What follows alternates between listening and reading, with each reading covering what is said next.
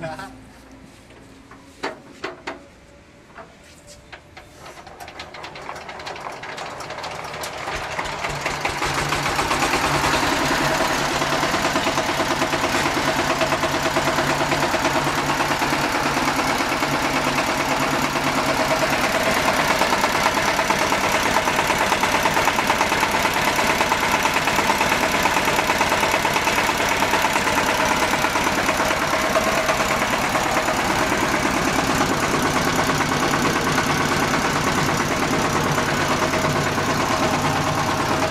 ਇਹ ਗੇਰਾ ਇਹਦਾ ਇਹ ਰੇਸ ਹੈ ਔਰ ਇਹਦਾ ਕੀ ਕੰਮ ਹੈ ਇਹਦਾ ਬੈਕ ਕਰਨ ਵਾਸਤੇ ਵਿੱਚ ਕਰਦੇ ਜਾਂ ਬੈਕ ਕਰਦੇ ਆ ਮਿੱਟੀ ਨਾਲ ਇਹ ਲੀਵਰ ਇਹ ਵਾਲਾ ਇਹ ਟਰਾਲੀ ਪੈਂਦੀ ਹੈ ਤੇ ਫੇਰ ਯੂਜ਼ ਕਰਦੇ ਆ ਸਾਰਾ ਖੁੱਲੇ ਜਾਂਦਾ ਰੋਟਾ ਬੈਟਰੀ ਟਰਾਲੀ ਪੈਂਦੀ ਹੈ। ਅੱਛਾ ਮੈਂ ਟਰਾਲੀ ਵੀ ਲਾ ਸਕਦੇ ਇਹਦੇ ਪਿੱਛੇ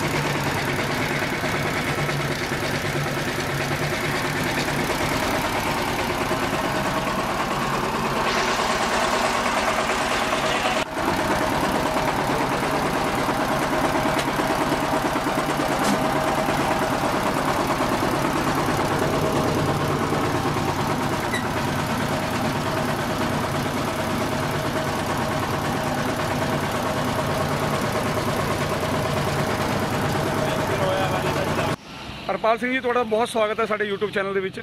ਆ ਜਿਹੜੀ ਇਹ ਤੁਹਾਡੇ ਕੋਲ ਇਹ ਖੜਿਆ ਹੈ ਟਰੈਕਟਰ। ਜੀ। ਅਜੀਬੋ ਗਰੀਬ ਦਾ ਟਰੈਕਟਰ ਹੈ ਛੋਟਾ। ਹਾਂਜੀ ਹਾਂਜੀ। ਹਾਂ ਤਾਂ ਇਹਦੇ ਬਾਰੇ ਸਾਨੂੰ ਥੋੜਾ ਜਿਹਾ ਦੱਸੋ ਜਿਹੜਾ ਇਹ ਤੁਸੀਂ ਦੱਸ ਰਹੇ ਹੋ ਇਹ ਰੋਟਾਵੇਟਰ ਲੱਗਿਆ ਹੋਇਆ ਇਹਦੇ ਵਿੱਚ। ਹਾਂਜੀ।